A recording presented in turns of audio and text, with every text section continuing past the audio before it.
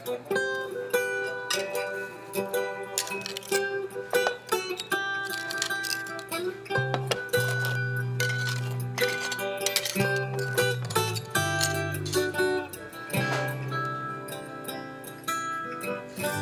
nombre es Carlos Arturo Arcos, trabajo con José Antonio, mi hermano. Eh, los dos estamos en este taller que lo empezó mi padre o nuestro padre, Juan Gabriel, en el 57.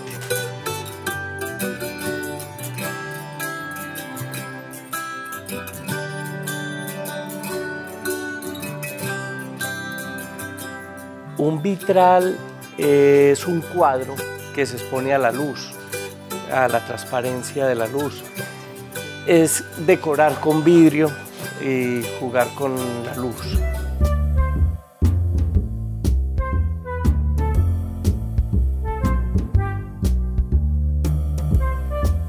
Hablando con el cliente, bueno, llegamos a la conclusión de que este era un dibujo, el diseño que él quería.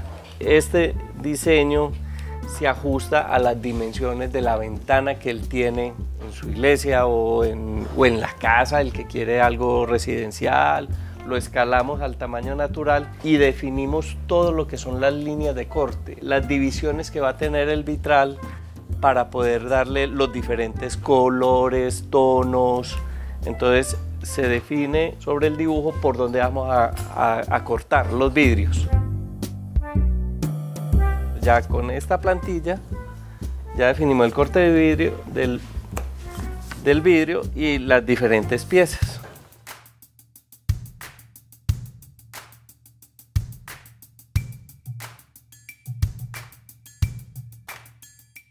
Ya una vez teniendo todo este vidrio cortado, ya vamos a la parte de ensamble sobre el dibujo.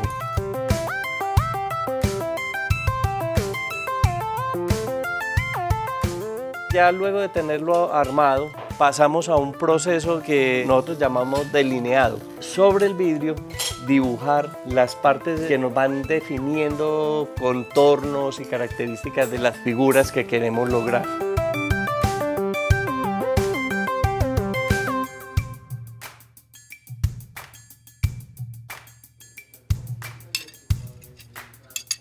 De ahí pasamos al proceso de, armado. E, este vitral eh, específicamente lo estamos armando con la técnica emplomada.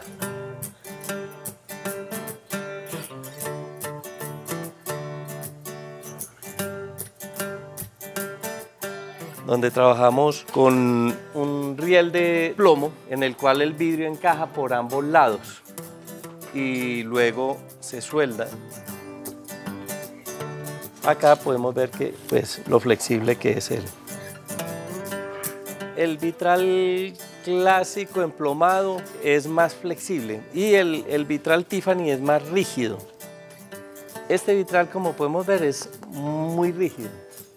No, no es tan flexible como este, que es emplomado, donde el plomo nos permite un poco más de flexibilidad.